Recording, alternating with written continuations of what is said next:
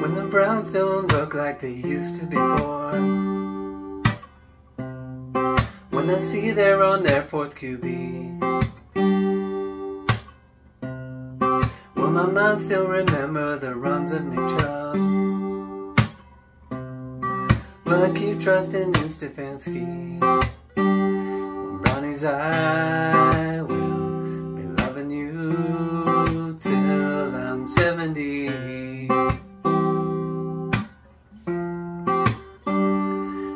be mine. It's numbered as on 2023. I'm thinking about how you keep winning games in mysterious ways. Maybe it's the